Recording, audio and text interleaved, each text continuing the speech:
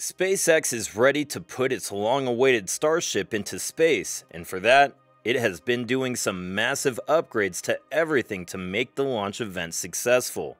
This is the launch for which the space community has been waiting anxiously.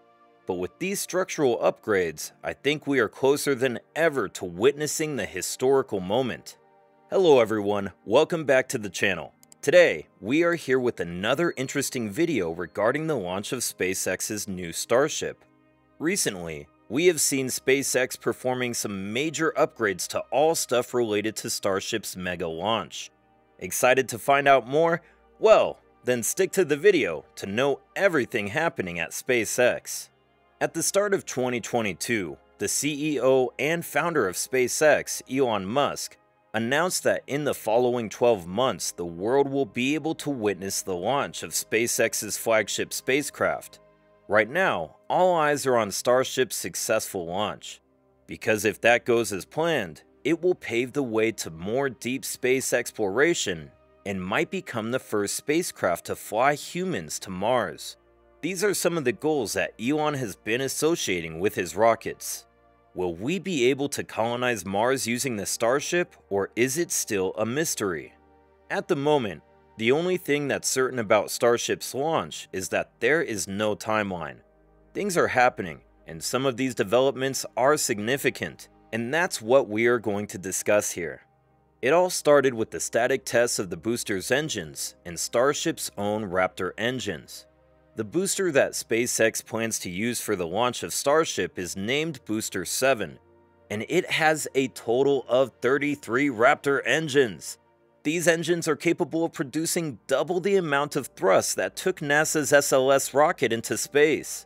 So, there is no doubt that if the launch goes successfully, then it will be a record breaking moment for the space community and the private space agency. The recent static tests, which were conducted by SpaceX, happened a few weeks ago. During the first test, 14 engines were fired, and during the most recent one, only 11 of the 33 Raptor engines were fired. Many are constantly criticizing SpaceX for repeated static tests instead of orbital ones, but it seems like SpaceX wants to make sure that everything is in place before they go for the launch. For example, during the second last test, one of the Raptor engines blew up. Even though the Raptor's blast was quite scenic, but that's not what it's meant to do. It's not the first time when something has failed to perform at SpaceX. However, Musk says that failures like these help them gather useful data. So, it's not that bad after all. Since SpaceX introduced their new Raptor 2 engines, the problems have become frequent, which SpaceX is improving before we get to see the orbital launch. Those who are observing the activities of SpaceX have reported that the upgrades and improvements required on the Starship are quite minimal. For example, this one time, engineers were observed doing some welding work on Starship's 24 steel frame. During these works, the heat shields were down, so everyone was able to see the work that was happening. But SpaceX has already announced that there is a Starship 25 prototype which will soon replace Starship 24 at the launch site for further static tests. Those who are concerned about the resilience of Starship 24 will not have much to worry about. One of the main components of the overall stack of spacecraft is the booster. In the case of Starship, its Booster 7, or B7, has been subjected to a lot of static tests by SpaceX. It was B7 whose Raptor engine blew up during the previous test. At first, it seemed that only the engine is gone.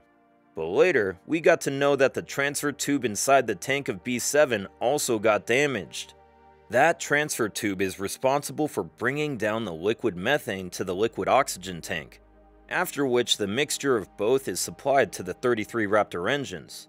This tube has quite a responsibility as the Raptor engines require 45,000 pounds of liquid methane per second and any problem with the transfer tube can end up being a big disaster. So, this is one of the upgrades that will be performed to the B7 before it can be brought back to the launch site. Another concern that SpaceX has been facing is the upgrades and repairs of the orbital launch mount, aka OLM. Usually, a proper flame trench is prepared to make a vent for the exhaust gases coming out of the booster's engines. In the case of SpaceX, they are facing a precarious situation because the launch site from where SpaceX has planned to propel their Starship is close to a natural preserve and engineering corps of the US Army, so they are not allowed to dig a flame trench or make a water basin. This brings us back to the orbital launch mount. It is the mount on which SpaceX has been conducting all the recent static tests. The orbital mount is a very sturdy and resilient structure made from concrete, metal, and other materials. All these structures combined provide enough support for the booster to stand and perform the launch sequence. However, after repeated static tests, the mount now requires repairs, as it has received a lot of damage. The blast of the Raptor engines especially did some real damage to the overall structure and heat shields.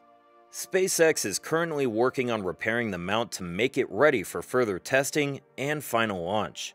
SpaceX has started working on repairing the heat shields, plumbing structures, and concrete base. The only upgrade so far has been the increase in the height of the mount's base. It is being done so the amount of damage can be controlled. SpaceX wouldn't have been facing any of these problems if it wasn't for the launch location being near the wildlife preserve. Fortunately, the OLM seems like a workable solution, if for some reason it fails to sustain the heat coming from 33 Raptor engines, SpaceX might have to find another way out. Almost all the activities being conducted by SpaceX have some sort of supervision by NASA because of their Human Landing System contract. Under this contract, NASA and SpaceX are working together to put humans once again on the lunar surface. Another reason for the supervision is to make sure that Starship doesn't have to meet a similar fate as Falcon 9 and Dragon. We saw how frustrating and devastating it was to see the non-crewed spacecraft blast mid-air during their initial launches. That's one of the reasons SpaceX is delaying the launch of Starship, because they don't want to take any risks with their new machine. This might have put a question mark on Musk's promises, but let's hope that once all these upgrades are done, we will be able to see the incredible launch. On that note, I'll end this video here. I hope you liked it. Don't forget to hit the like button and subscribe to the channel. Thanks for watching, and I'll see you in the next one.